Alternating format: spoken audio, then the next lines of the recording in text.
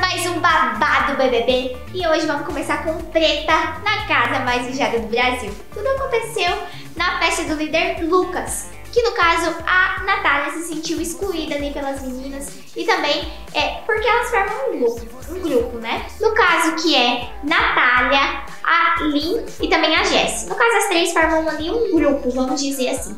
Então, estava se sentindo excluída das meninas e por conta disso, lá no jogo da discórdia, antes da festa do líder e tudo, ela já tinha exposto isso com a linha, etc, lá no jogo da discórdia.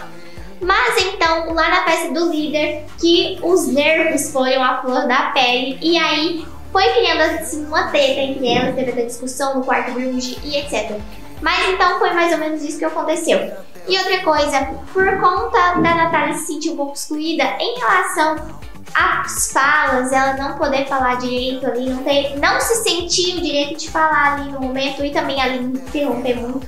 Então, esses foram as reclamações da Natália em relação a essa treta. Agora vamos falar um pouquinho do Vini, que foi o último eliminado da casa. E outra coisa, pessoal, ele teve uma conversa com a Rafa Kalimann lá no Multishow e também a Rafa Kalimann perguntou pra ele se ele sentia um pouco de ciúmes ali dali.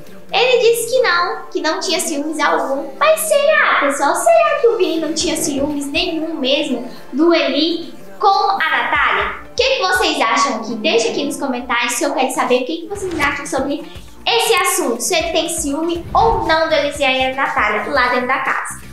E Eslovênia ataca novamente e também elimina mais um participante da casa, o Vini, que ela sentou do lado novamente, pessoal. Eliminando mais participantes. Agora vamos falar de um assunto muito importante, que no caso hoje completa dois meses de Big Brother Brasil.